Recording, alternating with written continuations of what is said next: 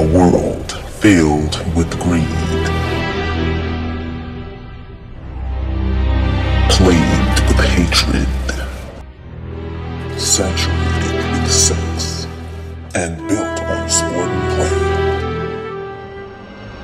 One man You want me dead, but you gonna pay a price to get that result.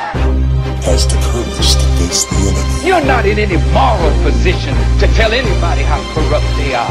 You should be quiet and let those of us who know our people go there and help them get out of that condition. But America should keep her mouth shut wherever there's a corrupt regime, as much hell as America has raised on the earth. Why can't we preach that to the people? America is under judgment. Why can't you He's see brutally that? honest. They are liars and they are murderers and they are guilty of high crime. He's divinely guided. Cause I'm the man that's walking in his footsteps and that's why the world hates me and loves you.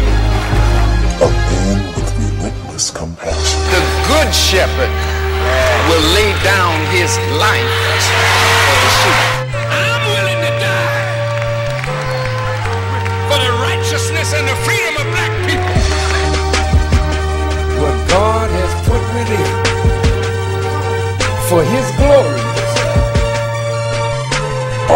exposing hypocrisy, How in the world can we be free?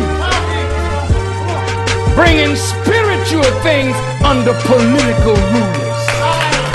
Most of the leaders, the scripture says, have been hirelings. That's why the gangbangers don't have no respect for those of us in religion because they see us as not asking. We have to press the government for reparations. We want to be able to prepare a future for our children.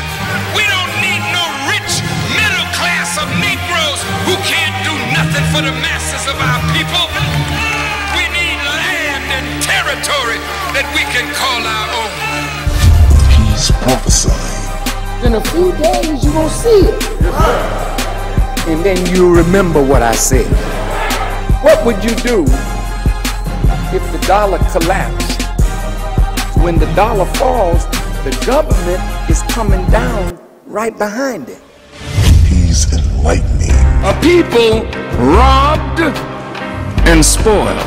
A people that had their names taken. They used to wear the names of God, but now their oppressive slave master gave them new names Shadrach, Meshach, and a bad Negro. I mean, Abednego. The Honorable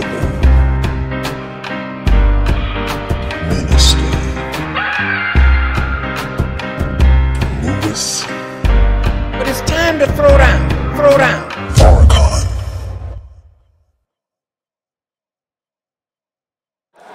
Pharaoh who?